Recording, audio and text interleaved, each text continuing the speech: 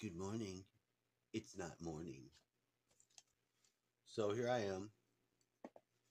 I've got some sort of fever burning up, sweating out of my arms. I am fucking miserable. Definitely have a fever. It's messing with my thinking because I cannot think.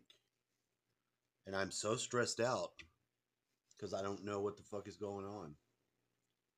And all my shit relies on on this.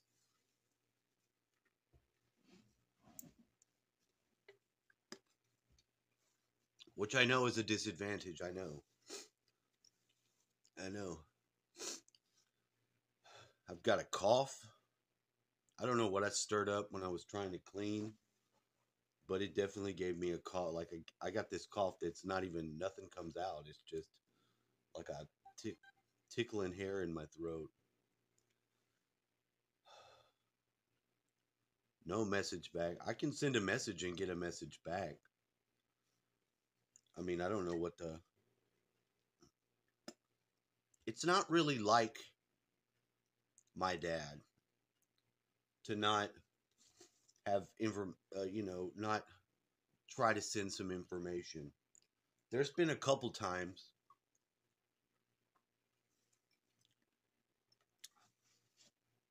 and I, I don't even want to be in this train of thought where it's like I felt like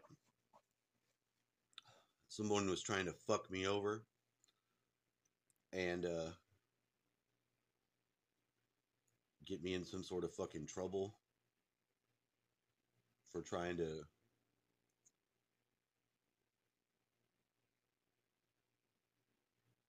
be here with him or something. It's very weird because it's it's a lot of the gang stalker shit. The gang stalker element wants to control everything. It wants to control everything. Especially what you're doing. And it knows how to because it's like some weird AI or something. I don't look, I don't even like talking about it because it perpetuates it, but the, there is enough of the reality of it to be, you know, aware of. And I just don't I just don't I don't I don't like it. The idea of it is fucked up.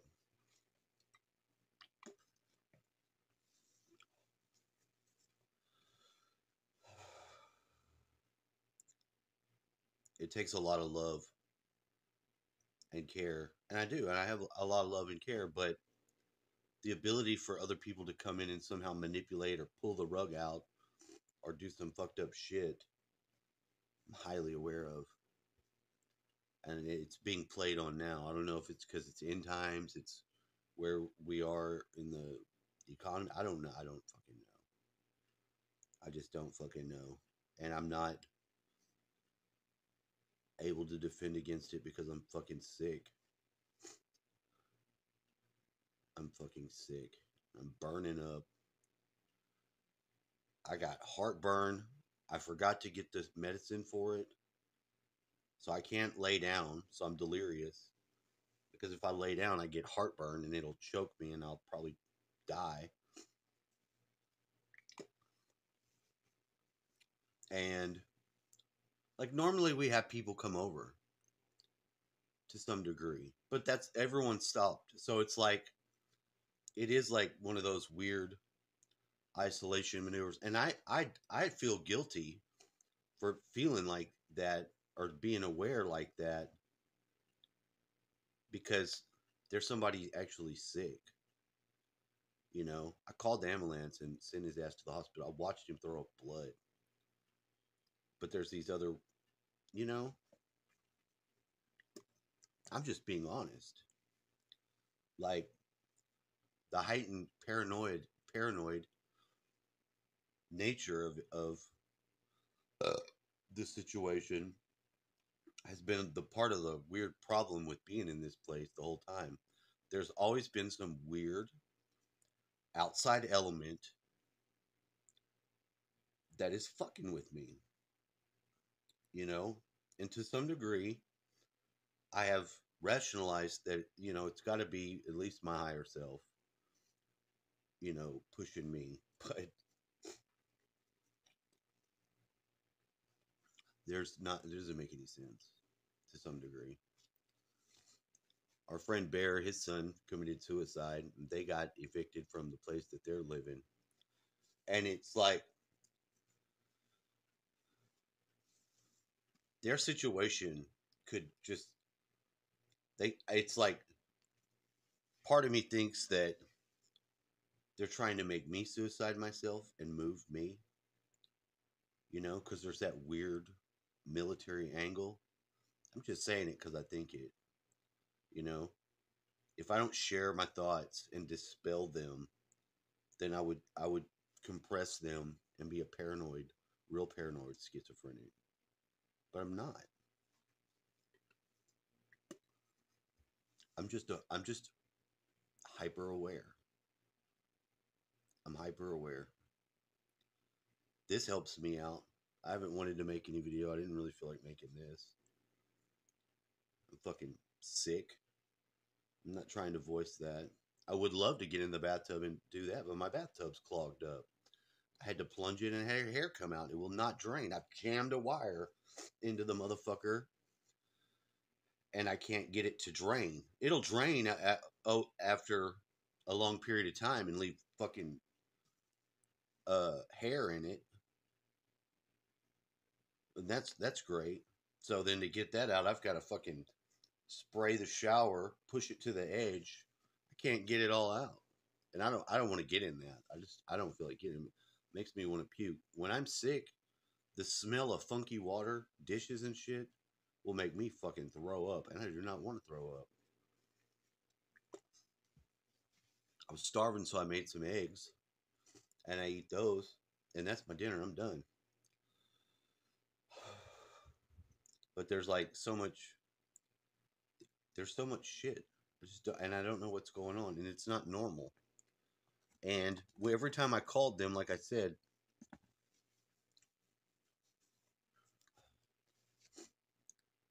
um, something happened, you know. And he, I've got hit and cleaned out his voice thing. He's got to put it on a battery, so he's got it, and he, I don't know how he's gonna talk when the battery runs dead. You know, would have took that thing, but I cleaned it up because it had all kinds of like roach poop. The corner of his bedroom where I cannot get in reach that shit is cleaned out. I fogged it, destroyed the fucking animals, the creatures, left the area. But there's some things that I'm supposed to have that I can't find that I mislocated that I can bypass except for the food stamp card. I set it somewhere to get ready to go and shop and now I can't find it because I've got I've got the fucking fever brain and I can't fucking think. So I'm not I'm just not looking for it right now. I know it's not lost. It's not gone. Just all these things they're like the thousand cuts you get for torture, but mental.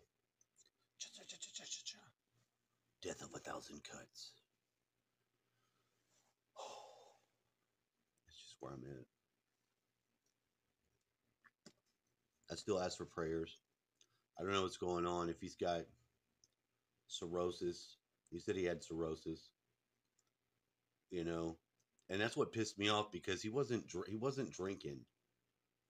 He started drinking when he had to manage his pain, he doesn't like. He he makes some gin and tonic shit. It tastes like shit and it's some pretty stout alcohol. But he doesn't really, he's not, doesn't really go hard on it. Uh, and he drinks his wine. He has to have the wine. He had his wine has to have the wine, like I have to have my dip. Fed the birds. Cat cat is shown back up. He disappeared for a little while in the cold. I had pretty good sleep last night. Almost didn't get to sleep because of the heartburn. It kept me up for a long time. It was just, I get it like schedule. I'm on schedule. Like, as soon as it's 10 o'clock, the heartburn starts coming up. If I don't have baking soda to put in water, I'm fucked. Because there's nothing I can do. I have to, I have to, I have to sometimes go in there, stick my finger down my throat and throw up, and that doesn't help. It helps a little bit, but it doesn't, it really isn't what you want to do.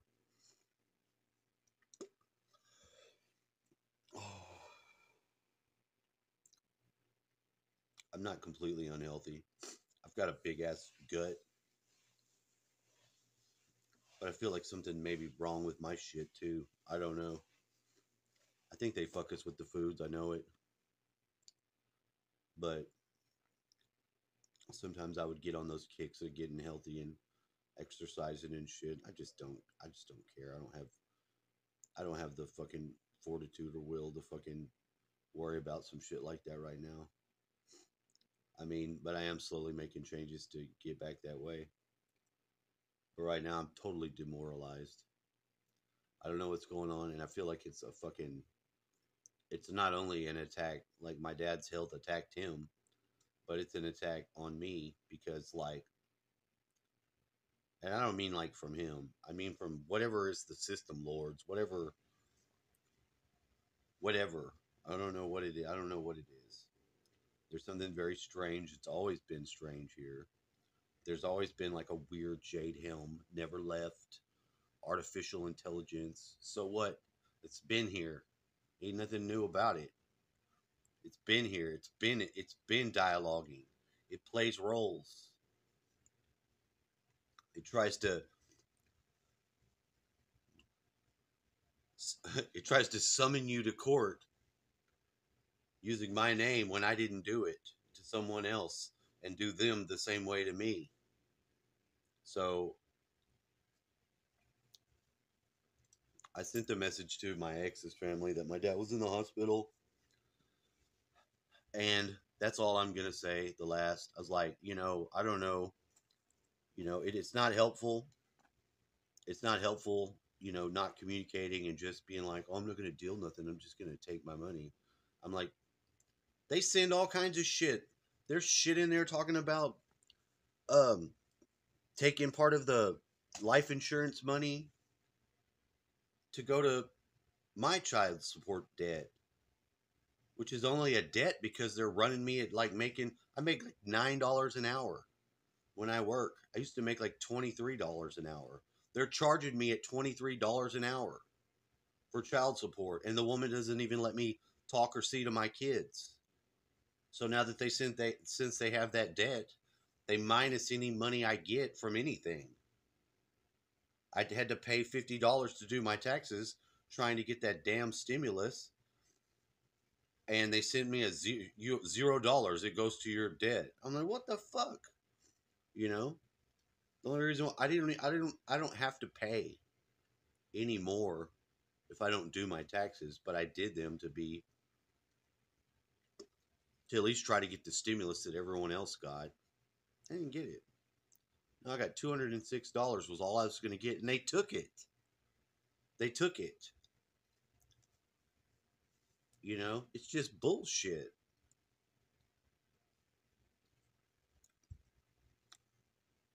The little bit of decency that you need from humans vanishes the minute that they can just observe and be petty or vain about what, the way they see on the surface you can look and see whatever the hell you want but you don't know the dynamics of anything. I know that about when i look at shit i don't know what people have going on so i don't i don't fucking judge or try to enforce some value but everybody's got an idea about the way things have got to be. They know everything. You know how people are especially the godless people. They know everything and this world is like a fucked up. Everybody's in some fucked up gang, and I'm not joining that gang. I'm not gonna do it. I'd rather fucking die. Seriously, seriously.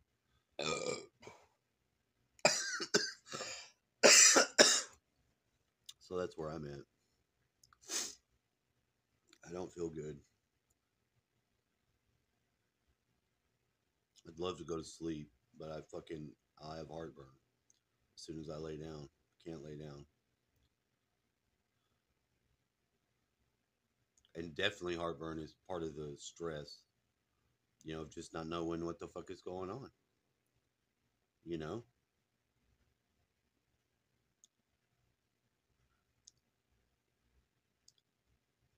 I don't know.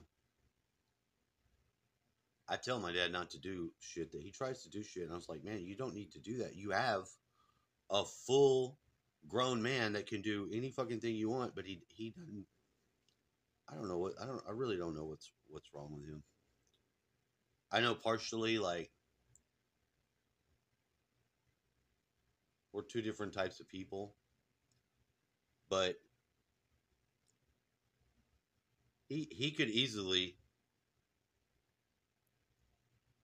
get what he wanted out of it, but I think he does have a lot of past of his own trauma and shit. Because I'm not I'm not that difficult to understand why why I am the way I am.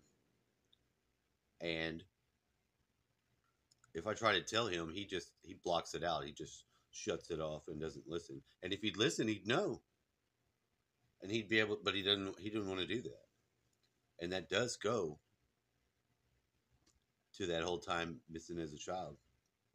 Because when you you know how your child is because you're around them or you don't.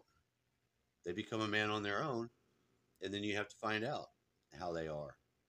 And i'm completely obedient and submissive to trying to allow that to happen and and get nowhere. Get nowhere. So that's it that's basically what it is. My other stepdad's got to get a pacemaker, and he's real upset about that. They said his heart's not beating fast enough or something. I talked to him for a real long time. I talked to my brother for a real long time. And my friend was trying to be helpful with the porch, but I mean, that's just something my dad wanted to do on his own. That's one of his things that he wanted to do because it he's getting old and he, he wants to still have things he can do and feel like he's not totally gone. Fuck, you can't talk, so there's a lot of self-loathing and shit that comes with that being disabled. But there's so much weird, crazy paperwork and shit, you know. It just it feels it does feel like a setup like they're trying to pull me out of my home for something. And I haven't even done anything.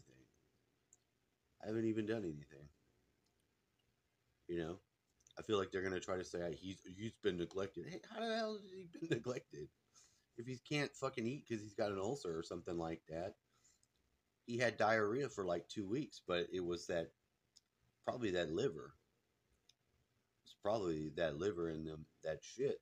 When he started having the evidence of there being blood in his shit, I was ready to call hospital.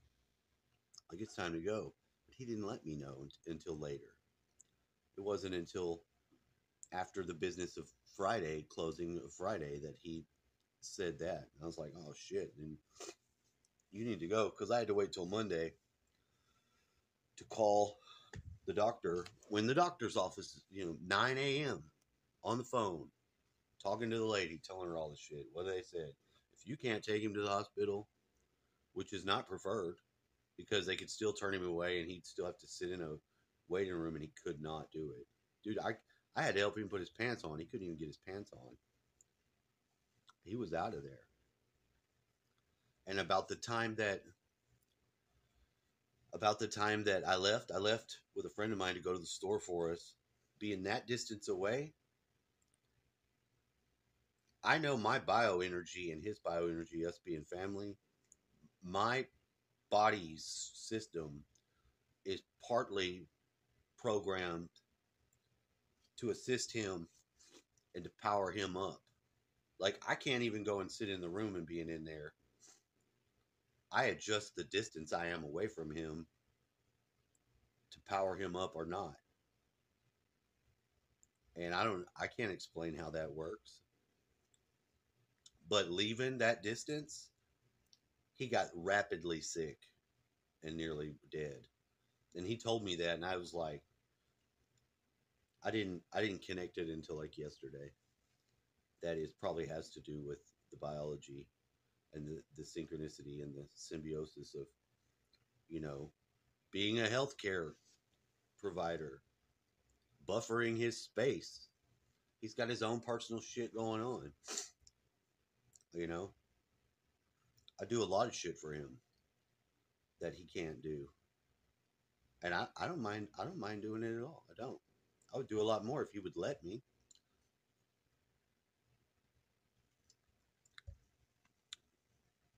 I think he's just struggling with being old and not being able to do what he wants to do, which seems pretty um part of life. You know, I'm very aware of that. I won't have that from my son, you know, and it shouldn't be like that. You know, we should be able to make amends and and connect and do whatever. I had a problem with my dad when I was a kid because all the shit my mom would talk about him. He's a lazy son bitch and all that. You know what? That's not true.